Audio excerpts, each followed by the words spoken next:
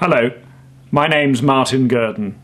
and I'm a motoring journalist who wrote a book called Hen and the Art of Chicken Maintenance about sex, death, and chickens.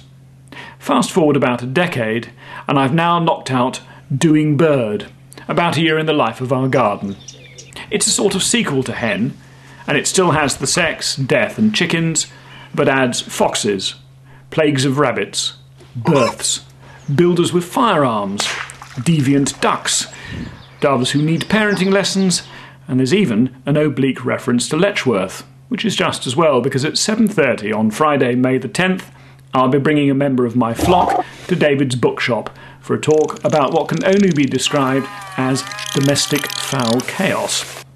Oh, yes, and we're back the following day to chat, offer advice, and sign copies of the book. So, if you'd like to keep garden birds and want to know what it's like, or keep them already and would like to have your prejudices confirmed or a bit of a laugh, it would be great to see you.